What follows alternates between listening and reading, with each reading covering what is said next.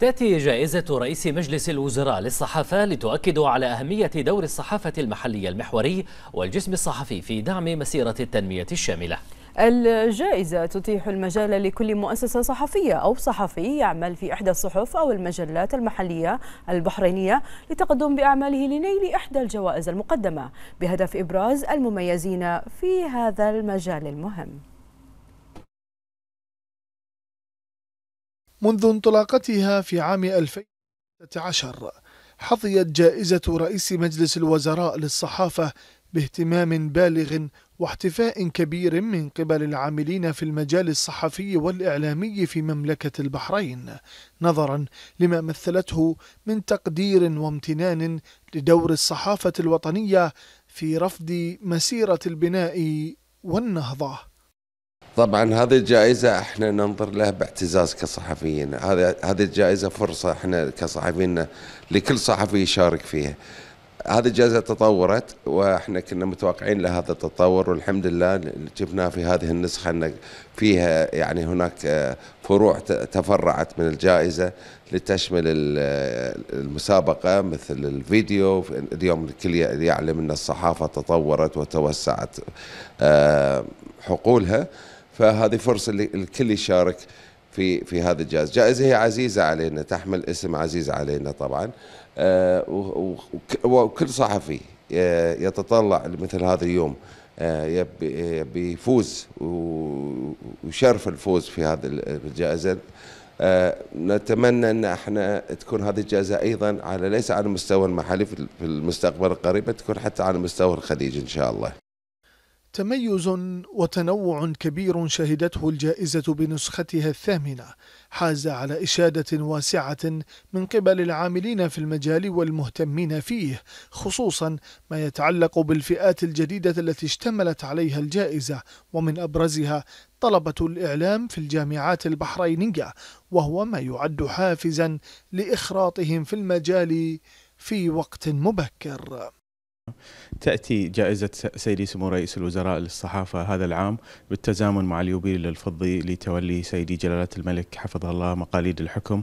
آه، أكيد تأتي هو وسيدي جلالة الملك هو الداعم الأول لحرية الصحافة والإعلام في البحرين فلا بد أن تواكب هذه الجائزة. آه، هذا هذا الإنجاز آه، الوطني العظيم.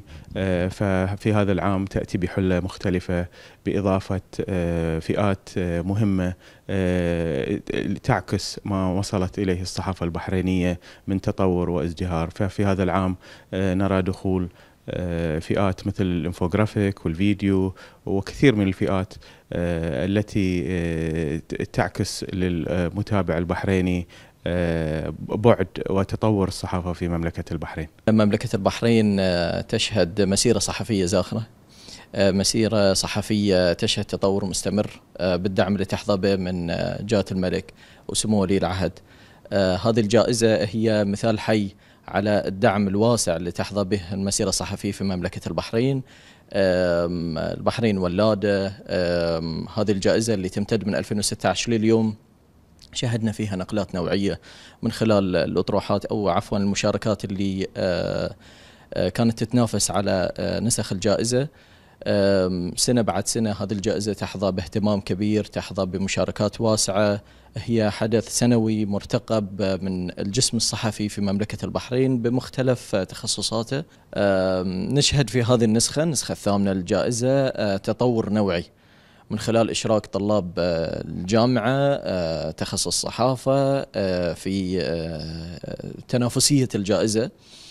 إشراك هذه الفئة آه، مع العاملين بالمؤسسات الصحفية هو نوع من التحفيز الكبير ونوع من آه، اكتشاف المواهب وإدماجهم بشكل مبكر في المجال الصحفي. هذه يفتح باب أوسع لأجيال جديدة تواكب التطور التكنولوجي اللي موجود اليوم في الصحافة، اعتماد الصحافة على المحتوى الرقمي. وهذه واحدة من فئات الجائزة اللي نشهد فيها اليوم آه، إضافة نوعية الرعاية المستمرة من قبل حضرة صاحب الجلالة ملك البلاد المعظم حفظه الله ورعاه والمتابعة المستمرة من قبل سمو ولي العهد رئيس مجلس الوزراء حفظه الله للصحافة والصحفيين أوجد بيئة خصبة يحصد منها أبناء البحرين ما بذلته الأجيال المتعاقبة على هذه المهنة من جد واجتهاد وإخلاص مشهود.